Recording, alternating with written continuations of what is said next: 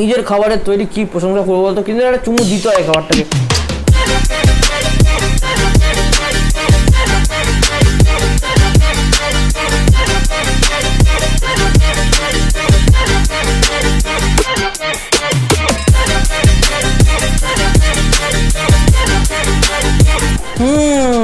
আগের দিনে ম্যাডামের পাওয়া ভাজির রেসিপি নিয়ে সবাই মনে হচ্ছে বেশ অসন্তুষ্ট। তো যাই হোক, কয়েকটা ইয়েস কথা বলব। দেখো, এখন তো বাজারে সেরমভাবে মালপত্র পাওয়া যাচ্ছে না, আর রোজ বাজারে যাওয়া পসিবল হচ্ছে না। তোমরা আশা করি জানো, বুঝতে পারছ নিজের এলাকাতে দেখতেও পাচ্ছ। তো সেই জন্যই একটু চাপ হয়েছে, পাওভাজির জন্য আলাদা করে বাজারে যাওয়া এবং পাওভাজির বেশ কিছু মেন ইনগ্রিডিয়েন্টসগুলোকে নিয়ে আসা। তো বাড়িতে যা ছিল সেই অনুযায়ী রান্না করা হয়েছে। আমাদের চ্যানেলের জন্য এবং তোমাদের জন্য ম্যাডাম কিন্তু প্রথমবার রান্না করার চেষ্টা করেছিলেন। আর তোমরা ম্যাডাম খেরমভাবে বললে ম্যাডাম কিন্তু খুব কষ্ট পেয়েছেন। তো যাই হোক সুস্বাদু সুস্বাগতম to our food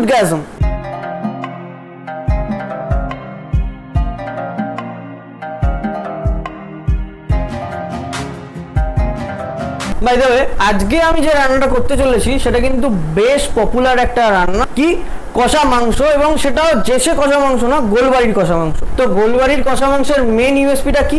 ওরকম রগ রগে করে একদম কালো একদম মাংস হবে, আর তেলটা একদম জাস্ট ভাসবে। তো বাড়িতে এইরকম টাইপের মাংস বানানোর জন্য, এরকম কালো মাংস বানানোর জন্য আমরা কিন্তু এখানে একটা টুইস্ট করেছি। আর আগের দিন রান্নাটা করেছিল আমার মা, আজকে করব আমি।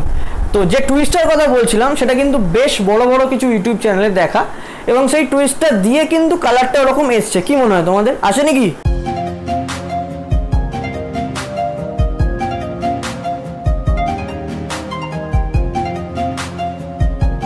যাই হোক, রান্নার ব্যাপারে তো আমাদের জ্ঞানগম্যি কমই, ওই মায়েদের থেকে এবং ইউটিউব থেকেই শেখা।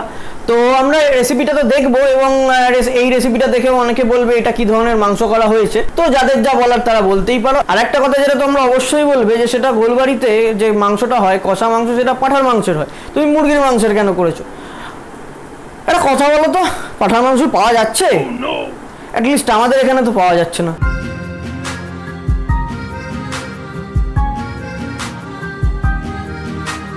এরকম ইউনিক কিছু এক্সপেরিমেন্ট করা রেসিপি এবং পরবর্তীকালে যখন লকডাউন খুলবে, তখন বাইরের বিভিন্ন ধরনের জায়গার খাবার, এই সমস্ত তোমরা দেখতে চাইলে যারা প্রথমবার আমাদের চ্যানেলে আসছো বা আগে এসেও ভিডিও দেখেও চ্যানেলটাকে সাবস্ক্রাইব করনি, তারা সাবস্ক্রাইব করে নাও। আর দেখো ভিডিও নিচেই ডান দিকে রয়েছে লাল রঙের সাবস্ক্রাইব বাটন সেটাকে প্রথমে ক্লিক করবে, তারপর তার ডান দিকে দেখতে পাবে একটা বেল বাটন সেটাকে ক্লিক করে অল করবে, তাহলে যখনই আমরা ভিডিও দেবো, তোমাদের কাছে নোটিফিকেশন পৌঁছে যাবে। চলো আমরা রান্না করতে যাই।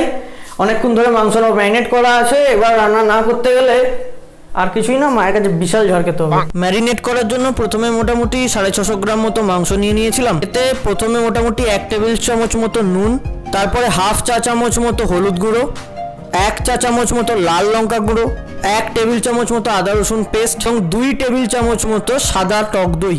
আর মাংসতে খুব সুন্দর একটা ঝাঁঝ যাতে আসে সেই জন্য দু টেবিল চামচ মতো সর্ষের তেল আমি এখানে ব্যবহার করেছিলাম। আর আরও একটা জিনিস আমি এখানে ব্যবহার করেছিলাম, সেটা হচ্ছে একটা মিডিয়াম সাইজের পাতিলেবুর রস। এই কটা উপকরণ দিয়ে দেওয়ার পরে সবগুলোকে একদম সুন্দর করে মাংসর গায়ে মাখিয়ে নিতে হবে। মোটামুটি দু তিন মিনিট মতো মাংসর গায়ে সুন্দর করে মাসাজ করতে হবে, যাতে মাংসর ভেতরে খুব সুন্দর মতো মশলাপাতিগুলোর ফ্লেভার ঢোকে। আর তারপরে মোটামুটি এক থেকে দু ঘণ্টা মতো তোমরা চাপা দিয়ে রেখে দেবে মাংসটাকে। সময় থাকলে তার থেকে বেশি সময়ও রাখতে পারো। কিন্তু চিকেনের জন্য এক দু ঘন্টাটা ইনাফ গোলবাড়ির কষা মাংসে যেহেতু তেলের পরিমাণটা বেশি থাকে, তো মোটামুটি তোমরা এখানে একটু বেশি পরিমাণ তেল ইউজ করলেই ভালো হয়। সর্ষের তেলটাকে কড়াই দিয়ে কিছুটা গরম হয়ে যাওয়ার পর গোটা গরম মশলা ফোড়ন দিয়েছিলাম। তার মধ্যে ছিল তেজপাতা দুটো, দারচিনি এক ইঞ্চি মতো, লবঙ্গ পাঁচ ছটা, ছোট এলাচ চার পাঁচটা, শুকনো লঙ্কা দুটো। গোটা গরম মশলাগুলো কড়াই দিয়ে কিন্তু বেশিক্ষণ ভাজার দরকার নেই। পনেরো কুড়ি সেকেন্ড পর থেকে একটা সুন্দর ফ্রেগনেন্স বেরোতে শুরু করবে। তো গোটা গরম মশলাটা ভাজা হয়ে যাওয়ার পর তক্ষুনি সঙ্গে সঙ্গে দিয়ে দেবে আদা, রসুন পেস্ট প্রথমে কিন্তু আমি ম্যারিনেশনের সময় এক টেবিল চামচ মতো আদা, রসুন পেস্ট ইউজ করেছিলাম। সেটাকে মাথায় রেখে এখনও এক টেবিল চামচ মতোই আদা, রসুন পেস্ট দিলাম।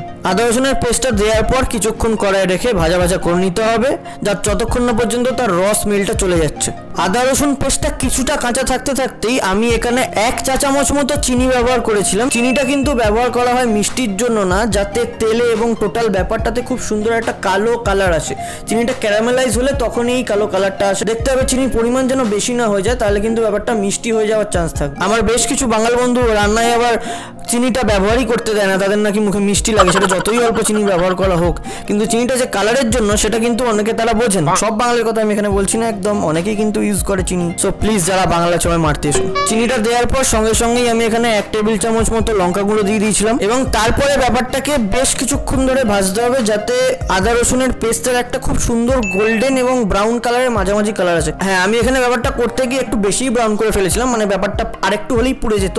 তো ব্যাপারটার দিকে খেয়াল রাখতে হবে কিন্তু তোমাদের। আদা রসুনের পেস্টের কালার গোল্ডেন ব্রাউন চলে আসার পর আমরা এখানে ইউজ করছি পেঁয়াজ বাটা। কিন্তু সেই পেঁয়াজ বাটাটা কিন্তু নর্মাল পেঁয়াজ বাটা নয়। আমরা প্রথমে তিনটে বড় সাইজের পেঁয়াজকে একদম সরু সরু করে কেটে সেটাকে বেরেস্তা করে ভেজে নিয়েছিলাম। তো বেরেস্তাটাকে তারপরে আমরা মিক্সার গ্রাইন্ডারে দিয়ে গ্রাইন্ড করে নিই। তখন বেরেস্তার যে পেস্টটা তৈরি হয়, আমরা এখানে সেই পেস্টটা ইউজ করছি। নর্মাল পেঁয়াজ বাটা দিলে কিন্তু হবে না, সেই কালারটা আসবে না। আদা রসুনের পেস্টের সাথে বেরেস্তার পেস্টটা ভালো করে মিশিয়ে নেওয়ার পর আমরা এখানে স্বাদ মতো নুন আর একটা চামচ মতো হলুদ দিয়ে দিয়েছিলাম। নুনটা কিন্তু মাংস ম্যারিনেশনের সময় দেওয়া হয়েছিল, সেটা মাথায় রেখে সেই পরিমাণ নুন এখানে দেবে। এরপরে পুরো ব্যাপারটাকে খুব ভালো করে মিশিয়ে নিয়ে কিছুক্ষণ ভাজতে হবে। এখানে ব্যাপারটা যদি তোমাদের মনে হয় যে বেশি ড্রাই হয়ে যাচ্ছে, খুব তাহলে অল্প পরিমাণ জল ইউজ করতে পারো।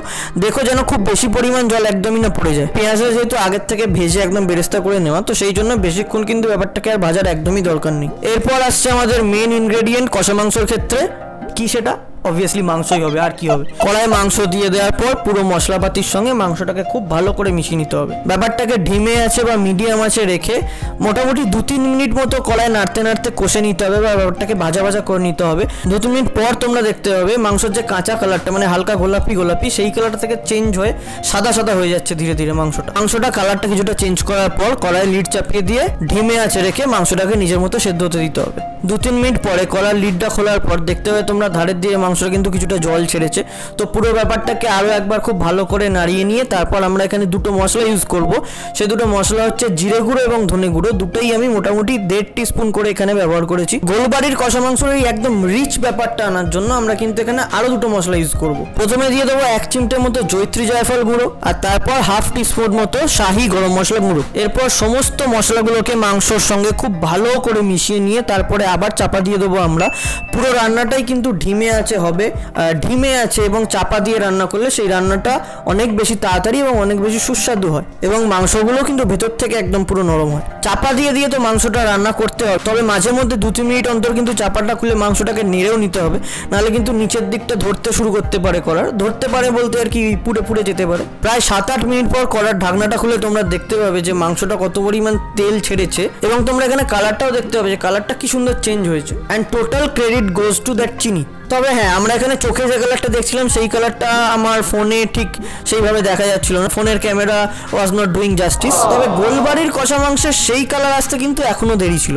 তো সেই জন্যই আমরা ইউজ করলাম আমাদের ব্রহ্মাস্ত্র। হ্যাঁ মানে এই রান্নার জন্য ওটাকে ব্রহ্মাস্ত্রই বলতে হবে আর কি। সেই ব্রহ্মাস্ত্রটা হচ্ছে এক কাপ লিকার চা। একদম পাতি সিটিসি চা, সেটাকে খুব গাঢ় করে ফোটাতে হবে, একটু বেশি পরিমাণ চা দিতে হবে।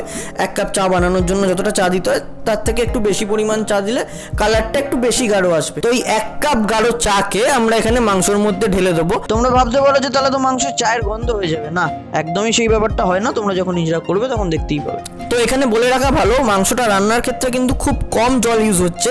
এর আগে কিন্তু খুব অল্পই জল দেওয়া হয়েছিল এবং এখনই এই এক কাপ চা বা জল চা মানে তো জলই সেটা দেওয়া হচ্ছে। কিন্তু এই দুঃসময় কোনো জিনিস ওয়েস্ট করা উচিত না। সেই জন্য পেঁয়াজের বেরেস্তা যে বাটা হয়েছিল সেই বাটিটা ধুয়ে জলটাও আমরা এখানে দিয়ে দেবো। এর থেকে বেশি জল কিন্তু তোমরা এখানে ইউজ করো না কারণ কষা মাংস হচ্ছে যত বেশি জল দেবে, তত কিন্তু জলটা মরতে বেশি টাইম লাগবে। তারপরে পুরো যা যা দেওয়া হলো নতুন করে সবকিছু ভালো করে একদম মাংসর সাথে মিশিয়ে আবার কিছুক্ষণের জন্য চাপা দিয়ে ঢিমে আছে রেখে দাও। মাংসটা এর আগে কতটা সেদ্ধ হয়েছে, কতটা নরম হয়েছে, সেই অনুযায়ী সেটা বুঝে কিন্তু তারপরে মাংসটাকে ততক্ষণ রাখতে হবে। কড়ার ঢাকা দু তিন মিনিট পর যখন খুললাম, তখন হচ্ছে মাংসের এই কালার তো কালারটা দেখে কি মনে হচ্ছে? এটা চিকেন না মাটন তো বেশি ভাও খাব না, তো বলে দিই, এরপর কি কি দেবে?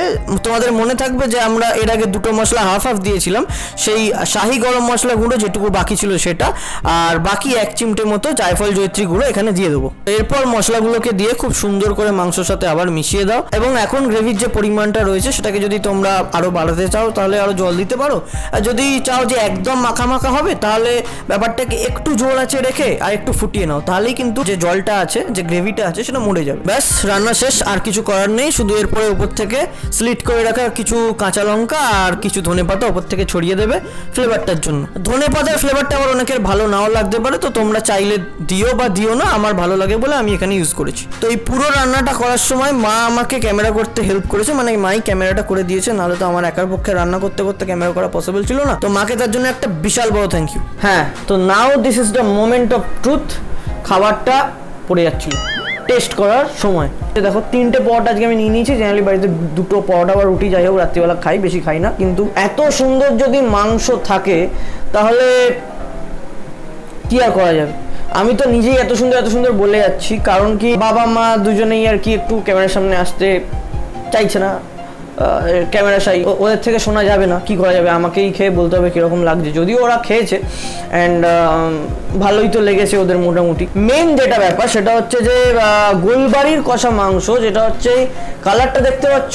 কালো একদম। এই কালারটার জন্যই গোলবাড়ির মাংস বিখ্যাত। একদম কষা, একদম সুন্দর কালো কালার আসে। তোমরাও বাড়িতে চেষ্টা করো এরকম কালো কালার আনার। পাঁঠার মাংস যেটা এমনি এসে যায়, সেটা মুরগির মাংস আনতে একটুখানি একটু কসরত করতে হয়, ওই আর কি। তখন সুন্দর দেখতে রকরকে যদি একটা মাংস খেতে তাহলে একটু কষ্ট করতে অসুবিধা তো নেই। আপাতত অনেক বকা হলো, খাওয়াটা শুরু করি আমি। একদম সুন্দর ছেড়ে এলো মাংস। নিজের বানানো খাবারের যদি প্রশংসা নিজে করি, শুধু নিজের বানানো বলব না, মা অনেক হেল্প করেছে। কিছুটা নিজের বানানো খাবারের যদি এত প্রশংসা করি, তাহলে তোমরা বলবে নিজের বানানো খাবারের প্রশংসা করছে। এর এমন কি ব্যাপার? কিন্তু যেটা তোমাদের চোখে দেখাতে পারব, সেটা তোমাদের দেখাই। এ দেখো, এই পিসটা দেখলে বুঝতে পারবে, এই পিসটার মধ্যে কোনো হার নেই। এই পিসগুলো কিন্তু জেনারেলি বেশ শক্ত হয়। দেখো, কথা বলতে বলতে হাত থেকে খুলে গেল। দেখতে পেলে তোমরা। এই দেখো, এ দেখো, ছেড়ে যাচ্ছে। কি সুন্দর হাত থেকে ছেড়ে যাচ্ছে। এটা লেগের পোর্শনের মাংস। ছোট ছোট পিস করা হয়েছে। তো লেগের পোর্শন থেকে তোমাদের ছিঁড়ে দেখাই, এ দেখো। একদম সুন্দর ছেড়ে আসছে। একা ক্যামেরা করা, একা সমস্ত কিছু করা একটু চাপের বিষয়, দেখো। এর থেকে আর কি ভালো নরম হবে মাংসটা। জাস্ট ফাটাফাটি। ফ্রন্ট ক্যামেরা দিয়ে কতটা বোঝা যাবে জানি না। দেখো সাইডের অংশটা দেখলে তোমরা বুঝতে পারবে তেলটা ছেড়েছে। এটা গোলবাড়ির মাংস একটু বেশি থাকে। কারণ কি, ওদের তো পাঁঠার মাংস হয়, তো চর্বির থেকে যে তেলটা বেরোয় সেটা থাকে। প্লাস ওরা আরও বেশি অনেক তেল দিয়ে তৈরি করে। তো বাড়ির রান্না অতটা রিচ করিনি বা আমার অসুবিধা হবে বলে, তাও কিন্তু তেলটা ভালো মতো বেরিয়েছে। কষালে কিন্তু এই জিনিসটা ভালো বেরোয়। এবং গ্রেভিটা দিয়ে খাই, দেখো দেখো। নিজের খাবারের তৈরি কি প্রশংসা করব বলতো? কিন্তু একটা চুমু দিতে হয় খাবারটাকে। আলাদা লেভেলের সেম জিনিসটা পরে কখনো আমি সেমন্ত এবং আকাশের সঙ্গে করব। ওরা বলবে, কিরম খেতে হয়েছে? উইদাউট মাই হেল্প এই রেসিপিটা মাস্ট ট্রাই তোমরা বাড়িতে অবশ্যই বানিও। আমাকে বলো কীরকম খেতে লাগছে। তখন আমি খাওয়াটা এনজয় করি। অনেক বকেছি। বেশি কিছু বলার নেই, তোমরা বুঝতেই পেরেছ যে আমার নিজের রান্না, নিজের এবং মায়ের রান্না কীরকম লেগেছে। আর চ্যানেলটাকে সাবস্ক্রাইব করে দিও, ভিডিওটা ভালো লাগলে শেয়ার করো বন্ধুদের সাথে। মা বাবাকে দেখাও, মাকে বলো যে এরকম রান্না আমাকে করে দিতে বা নিজে রান্না করতে পারলে করো। তো ব্যাস, এটুকুই, আর কিছু বলার নেই। তো চলো, আজকে আমাদের ভিডিও এখানেই শেষ হবে। হাম হে শৌকিন খানে কে ফির মিলেঙ্গে আগলা ভিডিও পে। রাত্রিবেলা খাওয়া দাওয়ার পর আমি এসব করছি, পাশের বাড়ি থেকে লোক এখন ঢিল ছুড়বে চলো, টাটা।